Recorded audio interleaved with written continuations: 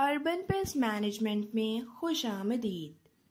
आइए हमारे साथ और जानिए कॉकरोच की शनाख्त और उनकी रोकथाम। ये पेस्ट चिपटा जिस्म, लंबे एंटीना छः टांगों और चार परों पर मुश्तमिल होते हैं। इनकी तीन बुनियादी इकसाम में अमेरिकन, जर्मन और ब्राउन बैंडेड कॉकरोच शामिल हैं।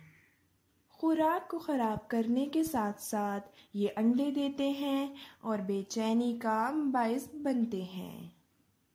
यूपीएम में पेस्ट की रोकथाम के लिए आईपीएम का असूल लागू किया जाता है, जो कि एहतियात और इलाज पर मुबनी है। नंबर एक, नाकाबंदी।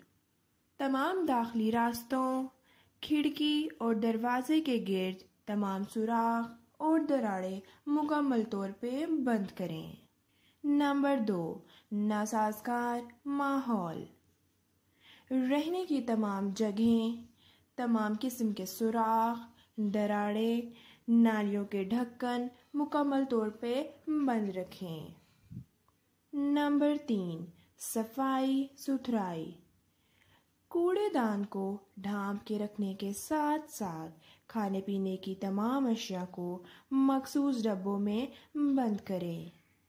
और गिरा हुआ पानी या किसी भी किस्म का मवाद फौरी तौर पे साफ़ करें। नंबर चार, फ़िज़िकल कंट्रोल।